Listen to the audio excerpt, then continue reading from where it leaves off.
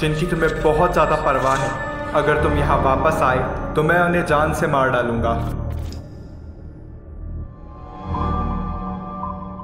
तुम ये बहुत अच्छे से जानते हो कि तुम कौन हो।